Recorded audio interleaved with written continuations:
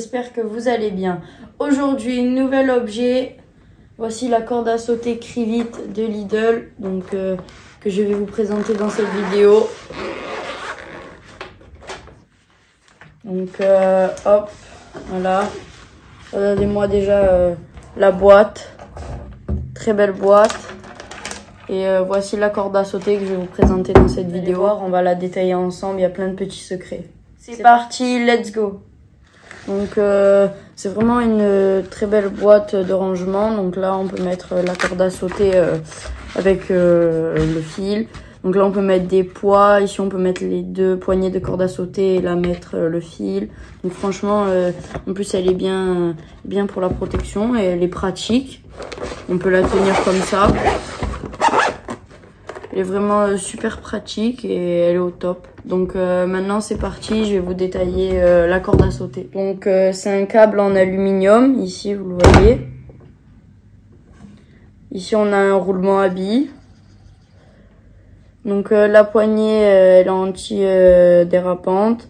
On a l'emplacement pour le pouce, on a une bonne prise.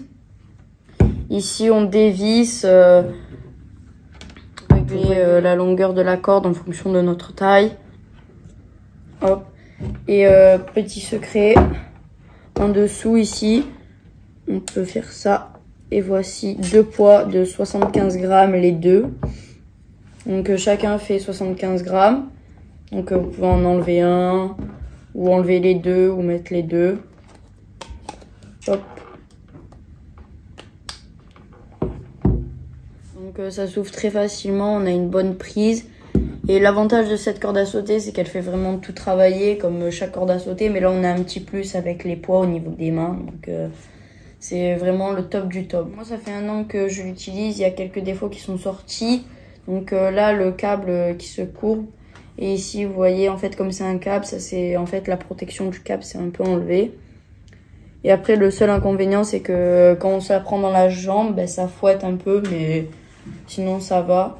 Elle est franchement, elle est au top pour travailler. Donc euh, maintenant, on va aller l'essayer. Je vais vous montrer euh, quelques exercices à faire avec. C'est parti, let's go.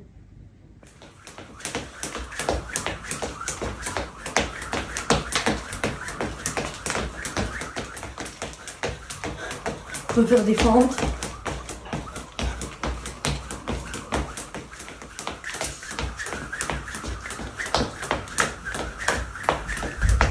C'est une très très bonne corde à sauter qui fait beaucoup travailler parce qu'il y a aussi des poids C'est vraiment efficace. Le seul inconvénient c'est que c'est quand même un, câble donc euh, ça fouette pas mal donc euh, faut faire attention. Mais sinon euh, ça va. comme ça fait longtemps que j'utilise c'est un peu cassé. Vous l'avez vu tout à l'heure, je vous l'ai montré. Je vais vous montrer quelques exercices. On, toujours, on commence toujours euh, comme ça. Hop, sur le côté. Donc, euh, premier exercice pour faire des fonds. Vous descendez pas trop parce que sinon c'est dur de remonter. Après, vous pouvez faire ouvre, ferme, ferme.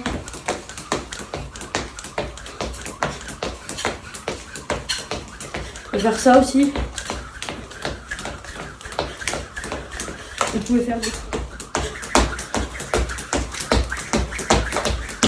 faire des croisés. vous pouvez ralentir le rythme, repartir vite.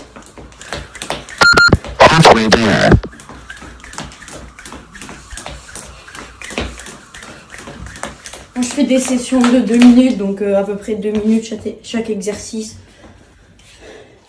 Ça me fait beaucoup travailler. Il y a le cardio aussi. Donc, euh, Vraiment au top, la corde à sauter. Faites-en.